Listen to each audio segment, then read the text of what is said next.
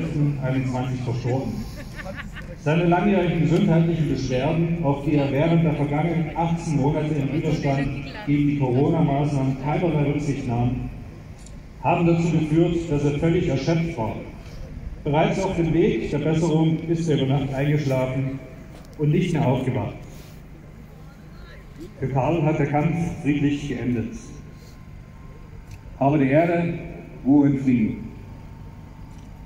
Ja, und wir denken, Karl Hilz ist es wert, dass wir auch an ihn denken mit einer Schweigeminute.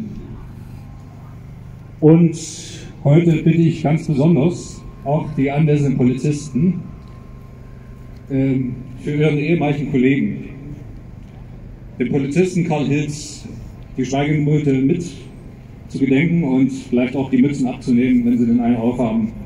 Das gebührt der Anstand. Danke.